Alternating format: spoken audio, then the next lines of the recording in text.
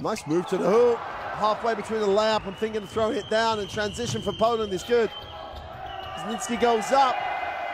Ponitka will try and claim the two. I think it was already in. And gets the easy two. Nice little spell here for Poland as they open up the eight-point lead. Off the glass for two. Then you've got to knock down the open shot. Chance here for Poland in transition. They push it. Ponitka at speed going up in the lane for two. Gets the drop. Open three again is long. Chance here for Kosovo two on one. Should be and is an easy two.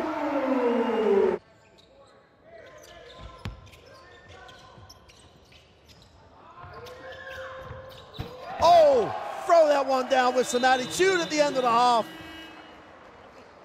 And a chance for Kosovo to run the other way. Trow, big step for two. And Kastrati.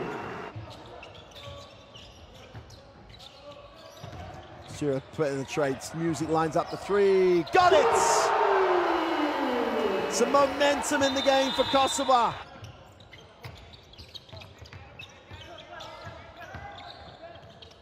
Little fade away for two is sweet. And Gruszecki again, that uh, shows more of the repertoire.